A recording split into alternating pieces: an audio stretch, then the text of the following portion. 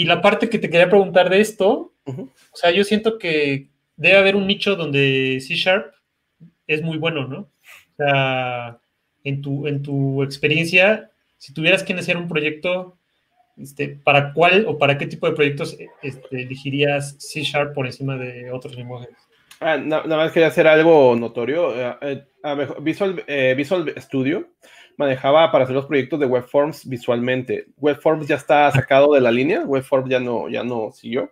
Ahorita lo que se trabaja es en MVC.net, que no es tanto que sea MVC, el patrón arquitectónico, sino que es el framework, así se llama MVC.net, te crea un esquema de trabajo en el cual tienes vistas, eh, controladores y tienes este, modelos, pero no, no son necesarios. Tú puedes igual trabajar sin vistas, puedes trabajar solamente hacer la API. Lo interesante de MVC.net es que te orienta mucho a la inyección de dependencia.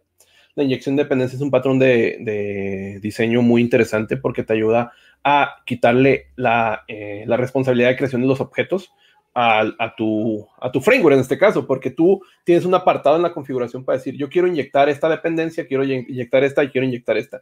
A mí me gusta mucho trabajar con MVC.net porque tú puedes separar el framework de la parte del negocio, puedes trabajar con arquitectura, arquitecturas DDD muy fácil, lo separas y tú inyectas, por ejemplo, quiero hacer una facturación electrónica, quiero hacer una factura y la metes en un servicio, una clase que obviamente es un esquema DDD, un servicio que va a hacer algo, lo inyectas en tu MVC y en el MVC, en todos los controladores, en el constructor, puedes invocarlo, el objeto ya está creado y al momento que lo creas, pues ya lo puedes utilizar para hacer las facturas. Entonces, el punto, ¿cuándo utilizaré yo C Sharp? En el esquema de facturación electrónica, C Sharp se presta bastante. Todos los países han utilizado un esquema, o la mayoría, de creación de un XML, el cual se va a ir a timbrar una dependencia, la cual te va a regresar un sello. XMLs con C Sharp, lamentablemente o benéficamente, van muy bien, porque ahora el XML a veces eh, es lo que se está utilizando ahorita, no a veces en facturación electrónica la mayoría, pero el, la dependencia en el caso en México te van a el SAT o en el caso de Colombia el DIAN, en el caso de Perú el YETUS, eh, cada dependencia te va a entregar un XSD. Este XSD es un XML que trae la especificación de tu XML como debe ir. XSD se da muy bien tanto con Java como con C Sharp. Es algo que ya quiero hacer énfasis. No se da muy bien con lenguajes que no son tipados, como por ejemplo JavaScript eh, o PHP.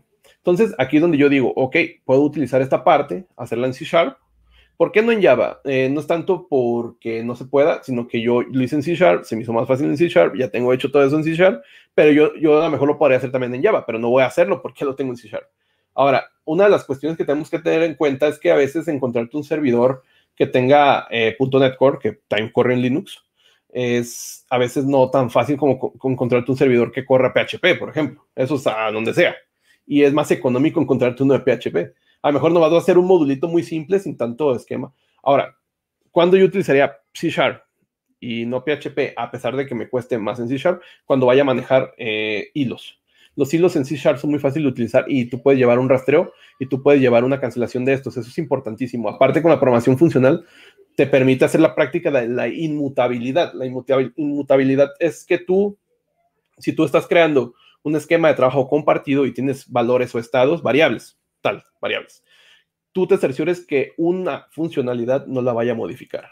Es decir, la programación funcional prácticamente te permite trabajar con la concurrencia protegiendo esos estados que son importantes. Porque de repente trabajas eh, o trabajabas sin programación funcional en C Sharp y de repente, oye, ¿cuál hilo fue el que modificó este dato? Y entonces no te das cuenta. Es muy complejo. Pero cuando trabajas bajo un paradigma funcional, es más fácil, porque el paradigma funcional, por las mismas prácticas que tiene, te va a cerciorar que ese atributo solamente se cambie quizá fuera de lo que es la programación funcional, sino que se va a cambiar solamente en algún nicho o un método que no sea dentro de tu, tu, funcionalidad, sino que fuera en un servicio, por ejemplo. Un servicio que solamente tenga uno a la vez. En C Sharp también puedes decirle, este recurso es compartido y le vas a decir, solamente puede, le toman la palabra lock o, o seguro y prácticamente ese método uno a la vez. Si llega un hilo a entrar ahí, está ocupado y el que sigue está esperando hasta que se desocupe y ahora entre este. Como tipo transacciones en base de datos. Entonces, C Sharp yo lo trabajo, lo utilicé mucho, en, por ejemplo, en el proyecto de, de Comisión Federal, porque son hilos eran hilos, era una cola de procesos, entonces era manejar esto. Y tú puedes cancelar hilos, puedes liberar la memoria, porque también es un tema importante. No, todo, a veces como programadores de universidad que, o de plataforma no nos enseñan eso, el performance.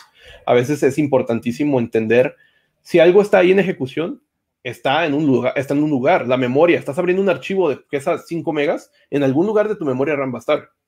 ¿Qué es lo que tienes que hacer? ¿Vas a dejarlo ahí? ¿Vas a liberarlo? ¿Vas a esperar que llegue el garbage collector de .NET? ¿Qué es lo que va a hacer? Tienes que tener un esquema de trabajo y qué va a hacer con ese tipo de, de cuestiones. Entonces, C Sharp da mucho a manejar este tipo de, cosas. Me ha ido bien también manipulando imágenes enormes. Imágenes enormes son 100 megas. Trabajé para un proyecto para una empresa llamada, no te voy a decir cuál, pero es de cerveza. Esta empresa mm, hacía, su requerimiento era hacer pósters enormes, las lonas enormes. Y entonces tenían un marco de, de galerías de, para que el bar, era para bares, este, este sistema para sus bares. Ya ves que las empresas de cerveza regularmente les dan sillas, mesas y a los bares. Entonces también les dieron esta plataforma que el bar podía crear su menú, podía crear sus lonas de publicidad y les ponían, ah, el Super Bowl. Ah, entonces hay que darles material de Super Bowl para que impriman promoción, cinco tarros, no sé, un tritón. Entonces estas eran lonas a veces muy grandes que la imagen, la resolución iba a pesar 100 megas. Entonces tenías que jugar con cinco o seis imágenes de 100 megas. Todo esto estaba sobre Azure, estaba en la nube pero de todas formas no deja de que tengas que estar trabajando con memoria, con esos medio giga, ¿dónde lo vas a dejar? Si hay cinco o seis personas, ya te, te tumbaron a mejor el RAM que tienes. Entonces, C Sharp es muy fácil manejar esas cuestiones. A veces, eh, tú como programador backend, yo me considero más programador backend, pero le entro a todo. Eh, a veces piensas que nomás vas a hacer APIs y no, también tienes que ver todo este tipo de performance, qué es lo que va a pasar cuando entren 100 usuarios y si va a poder tu sistema con eso. Entonces, C Sharp yo lo utilizaría para hilos, para manejo de recursos, de memoria, y también lo utilizaría para cuestiones de facturación electrónica. Es donde yo lo utilizaría. Las demás cuestiones las podría utilizar tanto con otro lenguaje de programación, Java, JavaScript, Node.js, este, PHP, yo no tengo ningún problema. No soy enemigo de los lenguajes, pero sí me iría por estas tres cosas. De acuerdo, sí, sí, el, el tema este que mencionas de, de, lo que te pasó con CFE, de que no los dispositivos o el hardware te restringía, en algún, en, alguna caso, en algún, este, platicando con unos amigos que justo estaban haciendo algo de reconocimiento de imágenes, ¿no? Este, compraron unas máquinas donde, para la empresa para la que trabajaban, que también es una empresa muy grande, ¿no? Este, y resulta que el creador de esas máquinas, el único driver que actualizaba de manera frecuente era un driver que jalaba con, pues con Windows, ¿no?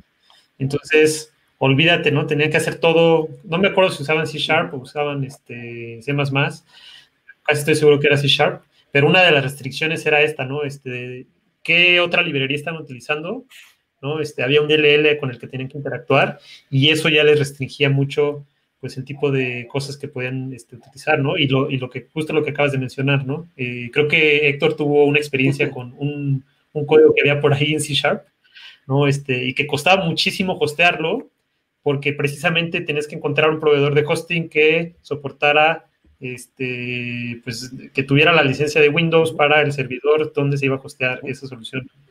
Pues sí, es un, este, es un tema. Sí, nada más que recordar que .NET Core ya puedes ponerlo en Linux sin licencia, es open source. Nada más son, son las cosas buenas que han venido saliendo. ¿Qué tan fácil es montar un servidor? O sea, lo hace, digo, he visto que ya hay, o sea, también he visto por ejemplo, Docker, ¿no? Para cosas de learning, pero luego he visto que en Windows, ¿no? A veces si lo quieres instalar te dicen, bueno, no va a jalar tan fácil, vas a tener que este, hacer algunas adaptaciones, ¿no? Y después, si tienes una, por ejemplo, una tarjeta gráfica, no, te recomendamos mejor instalar esto mismo, pero en Linux casi, casi, o sea, no te lo dicen abiertamente, ¿no? Pero he visto que hay ahí, o sea, que a veces no es tan sencillo como quisiéramos que fuera. En tu experiencia, ¿qué tanto te ha costado pues armar la parte open source de, cosas como, como, el core de, ah, Yo tengo la gran ventaja que yo no me meto a esas cuestiones.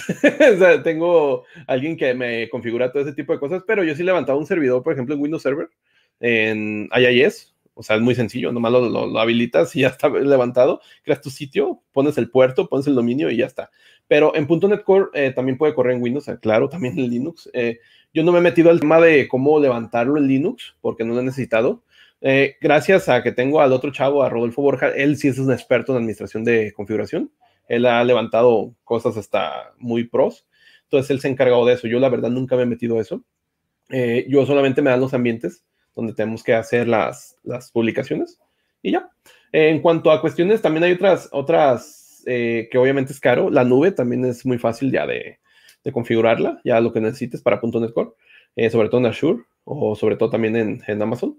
Pero eh, Lo que acabas de ver es un pequeño extracto de una charla muy interesante que tuvimos con el invitado. Te invitamos a ver la charla entera visitando el link que pusimos en la descripción del video.